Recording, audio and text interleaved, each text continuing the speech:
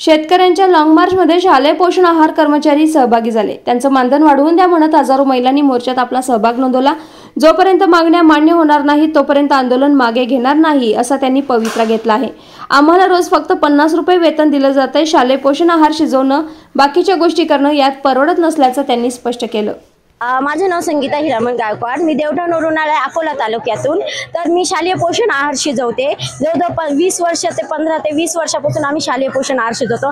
आम्हाला फक्त पन्नास रुपये वे- रोज आहे रोजचे पन्नास रुपये आणि दीड दीड हजार रुपये पंधराशे रुपये फक्त वेतन भेटतंय. तर आमचं असं म्हणणं आहे की आम्हाला शासकीय कर्मचाऱ्याचा दर्जा भेटला पाहिजे आणि आमच्या वेतनामध्ये वाढ झालेली पाहिजे.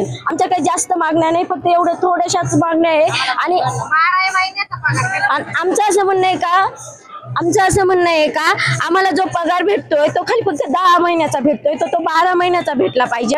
आणि आम्हाला म्हणजे आम्हाला आहे ना जे काय सरकारी कर्मचाऱ्याचा दर्जा भेटला पाहिजे. अंगणवाडी शालेय पोषण आहार. अशा आता आम्ही इथं तीनशे तीनशे पर्यंत तीनशे पर्यंत तीनशे पर्यंत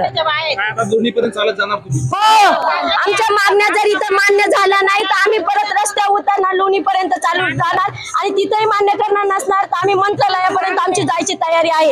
का आता आम्ही वीस वर्षापासून मंत्रीगण येत आहे तिथे चर्चा होण्याची शक्यता आहे. काय वाटतं सकारात्मक चर्चा होईल वाटतं? हो वाट- हो वाटतं. का तर आम्ही वीस वर्षापासून म्हणतोय आम्हाला फक्त मानधन म्हणजे नको आहे. आम्हाला वेत आम- आम्हाला शासकीय कर्मचाऱ्याचा दर्जा हवा आहे जर मागे घेण्याची वेळ आली. आश्वासन भेटलं तर तुम्ही कोणाचं ऐकणार की बाबा? आम्ही नक्की कोणत्या नेत्याचं इथे ऐकणार की बाबा आता आपल्याला माघार घ्यायची?